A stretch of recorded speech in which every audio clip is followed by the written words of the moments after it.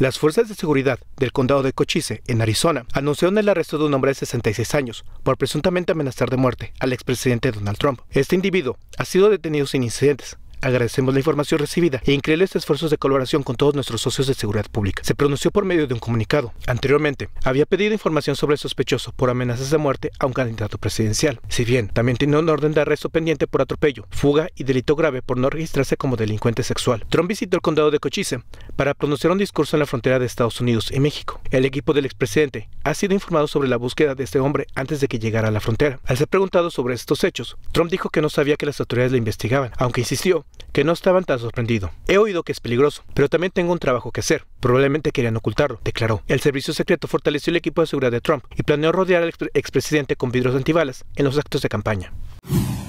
El presidente de Argentina, Javier Milei, confirmó que vetará la nueva ley de jubilación, que contó con una amplia mayoría en el Congreso, al que ha acusado de llevar a cabo un acto de populismo demagógico por aprobar un texto irresponsable e ilegal, pues establece gastos exorbitantes. En un comunicado, Milei aseguró que esta ley busca destruir el programa económico del gobierno y obliga al Estado a contraer deuda y a caer en las viejas prácticas que han llevado al país al fracaso. Esta ley implica un gasto adicional y obliga al Estado a contraer deuda que deberá pagar jóvenes argentinos, que, gracias a medidas como esta, hoy son mayoritariamente pobres, apuntó. El expresidente se comprometió con los argentinos a sostener el superávit fiscal a toda costa y así lo hará, enfatizó Milei quien reprochó a la oposición haber intentado obtener una victoria política a través de una estafa moral, un acto de demagogia populista y una irresponsabilidad fiscal. Nosotros preferimos decir una verdad incómoda a una mentira confortable, insistió. Este gobierno, enfatizó, no tiene miedo de pagar los costos que haga falta para sacar a este país de la decadencia en la que nos han sumergido. Apenas el jueves, el Senado aprobó por dos tercios sacar adelante una norma que recomponía en 8.1% la pensión de jubilación y además contenía una nueva fórmula de movilidad, lo que desafiaba el equilibrio fiscal.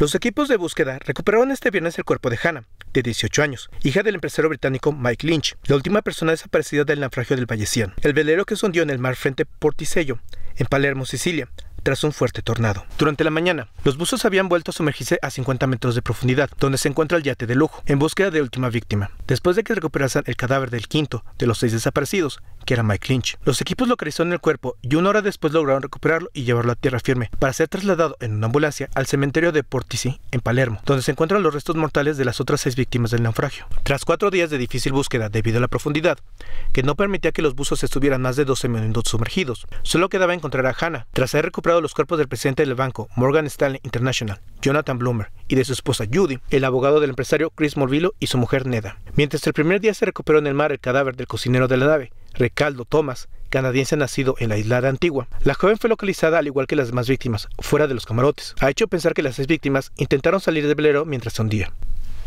Se dio a conocer la filmación de una cámara de vigilancia que registró al yate de superlujo, Vallecian, en el momento que una manga marina pasó por el área, lo que se presume causó el naufragio. El yate de 56 metros de eslora y mástil de 72.3 metros era propiedad del millonario británico Mike Lynch, quien se encontraba en el Vallecian acompañado de dos invitados y 10 miembros de la tripulación para celebrar la absolución del británico tras un juicio por fraude en Estados Unidos. La embarcación se encontraba a 800 metros del puerto de Porticelo en Palermo, Sicilia, Italia, donde pasó un torbellino marino y según las imágenes publicadas, el velero desapareció durante la tormenta. De acuerdo con los técnicos, que participan en la investigación, es posible que la prueba del barco se hundiera y girara lentamente hacia su lado derecho, lo que confirma la versión de los testigos.